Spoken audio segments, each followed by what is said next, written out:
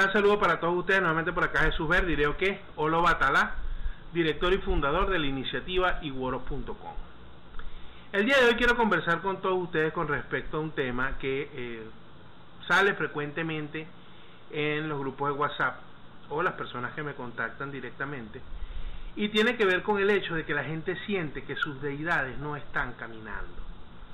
La gente me dice, mira, Ireo, ¿qué? Lo que pasa es que yo recibí guerreros y mis guerreros no están caminando. O recibí el Eguá y mi Eguá no está caminando. O recibió Locum y yo siento que Locum no está caminando. Fíjense lo siguiente. Independientemente de todas las cosas que usted pueda recibir, así usted se corone santo, usted necesita saber qué es lo que le está bloqueando el iré. Porque no es necesariamente potestad de el o no es necesariamente potestad de los guerreros, o no es necesariamente potestad de Oloku resolver el problema que le está bloqueando a usted el iré. Porque si bien es cierto que esas deidades son muy poderosas y que es muy bueno recibirlas y es maravilloso recibirlas, no quiere decir que sean una solución universal. Porque la persona, los seres humanos, tenemos varios aspectos que nos pueden bloquear el iré. Y que es mediante la consulta que se sabe cuál de esos aspectos es lo que está bloqueando el iré o qué es lo que está causando los osobos, por decirlo de alguna otra manera. Entonces, por el hecho de que usted recibió guerreros hace seis meses o hace tres meses y las cosas le empezaron a ir mal, usted no tiene por qué asociar o por qué pensar que eso es que ya sus guerreros dejaron de funcionar. No.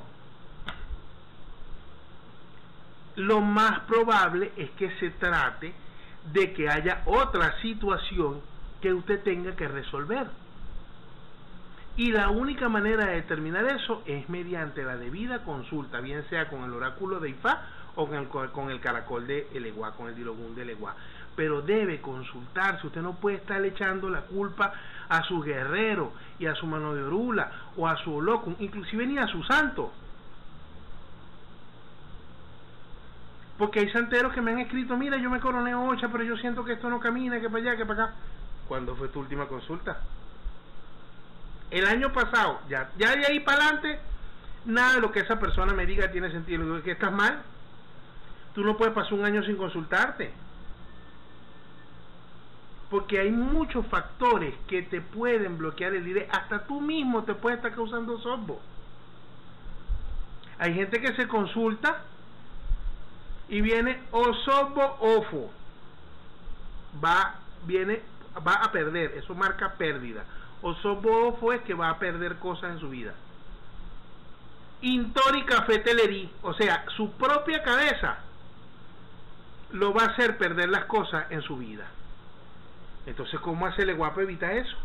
¿Cómo hace loco para evitar eso? ¿Cómo hacen los santos para evitar eso si es tu propia cabeza la que te está haciendo perder las cosas buenas en la vida? Lo que te puede hacer evitar eso es hacerte las correspondientes obras y las correspondientes ceremonias para quitarte eso y para que tu cabeza funcione correctamente. Ahí es donde de repente a la gente le mandan a hacerse una rogación de cabeza o alguna otra cosa para que la persona no pierda el bienestar que tiene por su propia cabeza. ¿Eh? Entonces, una persona que está en, ese, en, en, esa profecía que le fue profetizado eso, no le puede echar la culpa al Eguá. El Eguá puede estar muy contento con él y los guerreros pueden estar muy contentos con él. O Locum lo puede amar y adorar, sus orillas lo pueden amar y adorar. Pero si él está mal de su cabeza, el santo, no, hasta que no resuelva él, no puede hacer nada. Porque no le compete. Hay que hacerte una rogación de cabeza, hay que darte un pargo en la cabeza, qué sé yo, hay 50 mil obras para que la gente de la cabeza se le ponga bien. Y por eso es que en la consulta se hacen los famosos oniché. Después que uno termina la profecía de lo que el santo le va a decir a la persona, ¿verdad? Que uno saca, bueno, si está en iré, está en osobo, que iré, que cuál osobo, si es iré, este, si está firme y seguro, si no, al pie de quién se hace firme y seguro. Si es Osob, pues entonces qué deidad lo defiende para para contrarrestar ese Osob. Después que uno termina la profecía, vienen los Oniche. Oniche Lerí, le falta algo a su cabeza. Oniche Ará, le falta algo al cuerpo. Oniche Ile, le hay que hacerle algo a la casa. Oniche Egun, hay que hacerle algo al Egun, porque ese es otro caso que pasa muchísimo. La gente cree que porque recibió Guerrero y Manorula y montó su bóveda, ya más nunca el Egun le va a pedir más nada. Mentira. Los Egun a veces se disgustan, a veces se molestan. O a veces piden cosas y si no se las damos, entonces nos trancan el camino. Cuando la persona se consulta, Oniche Egun, sí. Ah, mira, aquí el Egun está pidiendo una atención pueden ser unas flores, pueden ser unas frutas, puede ser darle de comer, qué sé yo, tantas cosas que pueden pedir los genios. Pero eso es lo que te está bloqueando el futuro. ¿Eh? O sos Egun, tienes un Egun que te trae un candelero para tu casa. Y eso no es potestad de leguá, tal vez es potestad de leguá resolverlo, pero la única manera de que tú sepas cómo lo vas a resolver es mediante la consulta. Entonces tenemos que ser consecuentes con las consultas, no me canso de decírselo a la gente, consúltese cada tres, cada cuatro meses para que usted mantenga sus cosas funcionando. No piense automáticamente que ya es que este leguano no camina. Vamos al leguay, el leguay, pero si eso no es conmigo, es un muerto que tienes parado en la puerta de tu casa. Saca ese muerto de ahí y yo te traigo las cosas buenas. Yo vengo con las cosas buenas para adentro, pero si el muerto me las para en la puerta, yo te respeto al ego. Porque a pesar de que Oche es Ocha y Fa es Fa y Egun es Egun, entre ellos se respetan.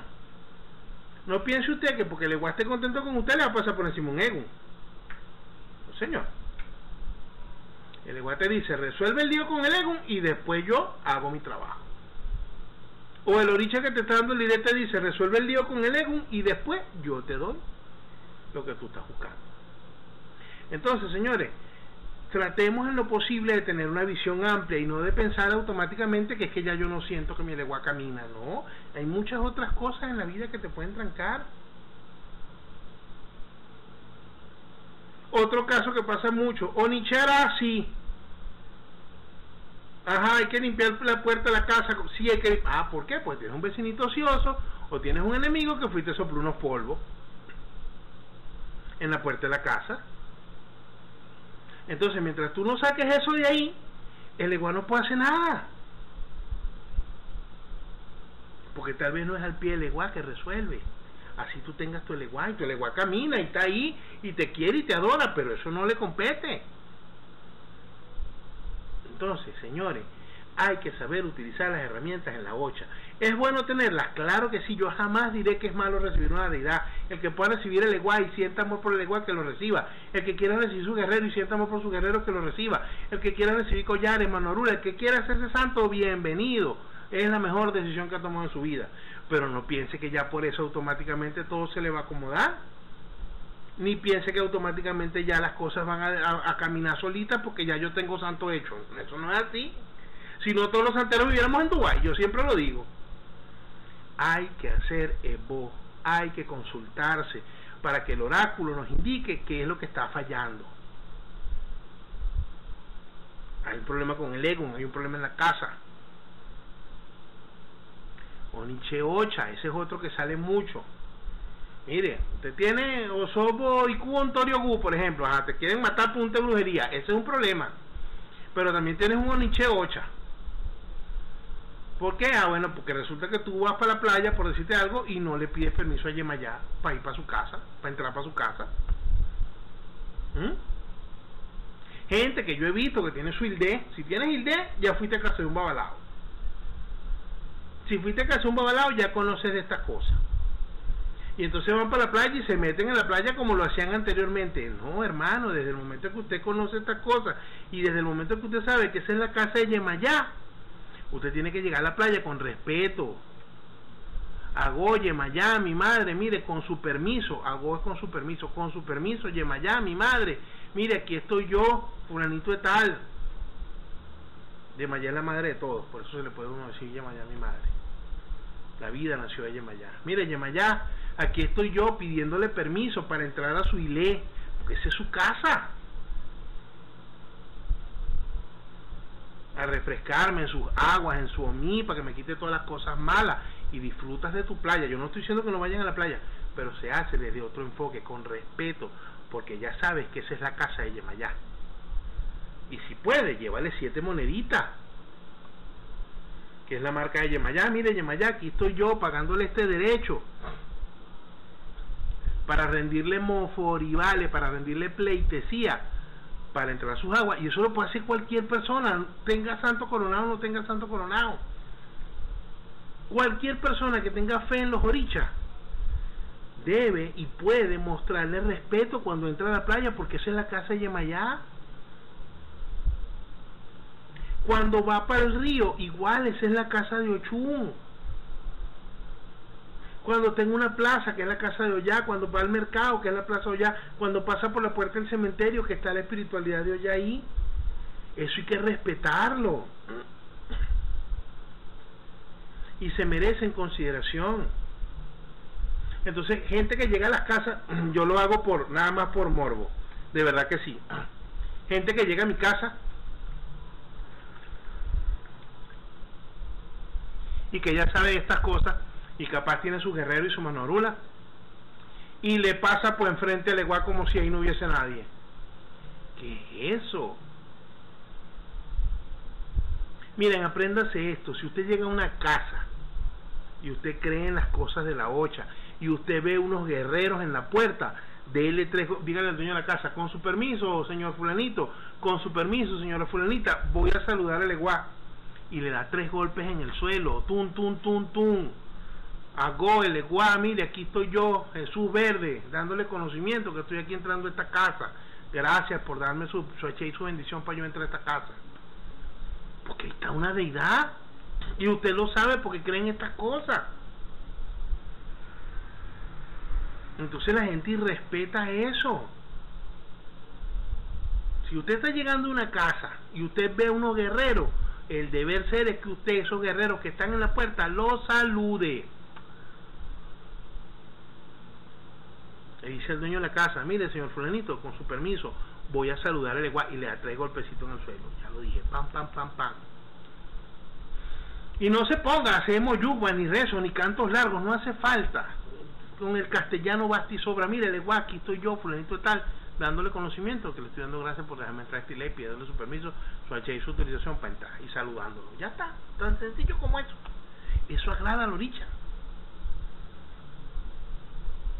Los mismos suyos. Hay gente que está en su casa y sale de la casa y ni peo le tira el igual. No, vale, eso no es así. Mira, el igual, voy saliendo, vente conmigo, acompáñame. Entonces, esa falta de respeto a los orichas provocan que cuando te vas a consultar, entonces viene el oricha molesto. O Ocha tiene que contentar al oricha por esa falta de respeto porque el respeto es fundamental en todas estas cosas de la ocha. Desde el principio, desde que estamos iniciándonos en esto, así no tengamos collares, así no tengamos guerreros, así no tengamos manorula, así no tengamos nada. A los orichas hay que empezar a conocerlos hay que empezar a respetarlos. En la playa vive, vive Yemayá, en el río vive Ochun, en la plaza, en el mercado y en el cementerio, en la puerta del cementerio, no en el cementerio, o en la puerta del cementerio vive Ollá Chango vive en La Palma, o Batalá vive en La Ceiba, o en La Loma. Entonces, en esos lugares uno debe pedir permiso, uno debe mostrar respeto, porque está la espiritualidad de la oricha. El Eguá vive en el monte. Gente que está en estas cosas y se interna en el monte sin pedirle permiso al Eguá. Y a Ogún, que es Ochosi, que son los que viven en el monte. Eso no va ahí. Hay que ser respetuoso así no tengamos nada hecho, porque eso nos trae arrastre, eso nos trae consecuencias, eso hace que el oricha, eso nos aleja de los orichas. No es que los orichas sean vengativos, ni porque yo odio esa visión este romántica de que los orichas te van a hacer mal, porque tú no me, no. Sencillamente con nuestros actos, los orichas siempre irradian bien, siempre irradian amor, siempre irradian protección. Somos nosotros los que con nuestras acciones nos alejamos de ellos y cuando nos alejamos de ellos pues nos irradiamos menos de todas esas cosas buenas que ellos nos quieren dar. Entonces, cuando yo entro a la playa sin pedirle permiso a Yemayá, me estoy alejando de Yemayá. No es que ella se ponga brava, no. Yo con mis actos me estoy alejando de las bendiciones de Yemayá, porque le estoy faltando el respeto a Yemayá. Yo con mis actos me estoy alejando de Chu, me estoy alejando de Legua. Y mientras más me aleje de los orichas, peor me va. Y cuando me consulto, viene toda esa facturita, olvídate. Cuando tú vas al pie de Orula, cuando tú vas al pie de Legua a consultarte, esas facturitas te las sacan, epa. Acá, pajarito. Tú me debes esto que está aquí. Entonces, mostremos respeto, señores, y entendamos que el hecho de que tengamos deidades recibidas no necesariamente es lo que va a hacer que las cosas caminen. Esas son herramientas que podemos utilizar para destrancar las cosas, pero que no siempre son las causantes de la tranca. Nuestro atraso o nuestra falta de evolución puede venir por nuestro lerí, por nuestra cabeza, por nuestro cuerpo, por nuestra casa, por un ego, por la ocha, hay muchas cosas y todo eso se descubre al pie de la consulta. Ay, pero es que yo había recibido guerreros y yo iba mejor, claro. Porque cuando tú recibes guerreros, obviamente eso te carga de energía positiva y te da un empuje. Es como cuando en, Rápido y Furioso le dan al, al óxido nitroso. Todo te sale bien, chévere. Pero esa bombonita de óxido nitroso se te va a acabar. Tal cual como pasa en la película, que el carro vuelve a la velocidad. Entonces tienes que ir a consultarte, a hacer el bo para que vuelvas otra vez a tener la velocidad. Y así es que vas evolucionando. No le eches la culpa al santo. No digas es que ya el iguano camina, es que el iguano está bravo conmigo. ¿Cómo sabes tú que está bravo el iguano contigo? Si él no te lo ha dicho. Hay gente que me dice, es que yo siento que el iguano está bravo conmigo. Pregunta consulta. Solamente en la consulta con el dilogún del iguano o con el oráculo de Ifá es que tú vas a saber si el oricha está o no bravo contigo. Y eso se puede preguntar porque después que termina la parte de los oniches, viene la fase de preguntas y respuestas. Entonces tú le puedes decir, mire, yo siento que le a estar bravo conmigo, pregúntale ahí. Y el santero te dirá, mira, si en Oniche 8 dijo co, que quiere decir que no, muy probablemente no esté bravo contigo, pero vamos a preguntarle. Y le preguntan al igual si está bravo contigo y te vas a ver que no está bravo contigo. Que el problema que tú tienes no tiene nada que ver con el igual. Porque el hecho de que tengas el igual recibido no quiere decir que todos tus problemas se van a resolver. Hay problemas que no son al pie del igual. Hay otros factores, hay otras causas. Y determinar esos factores y esas causas se logra mediante la consulta.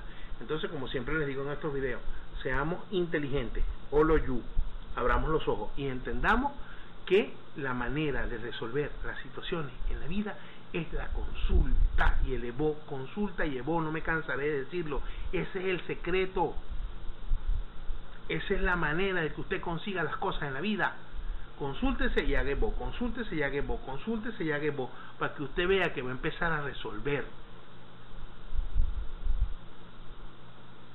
Ese es el verdadero secreto de esta cosa.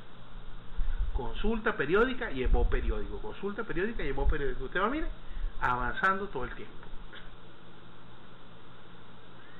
Como siempre, no quiero terminar este video sin darle las gracias a todos los avalados, santeros, tatas, espiritistas, que forman parte de la iniciativa Iboros.com y que me ayudan a preparar este material, de verdad que sí, gracias por ese apoyo incondicional, esa gente que día y noche trabaja y nos atiende en los grupos y me manda material y atiende a las personas en los grupos de Iboros, de verdad, se lo agradezco muchísimo por estar allí.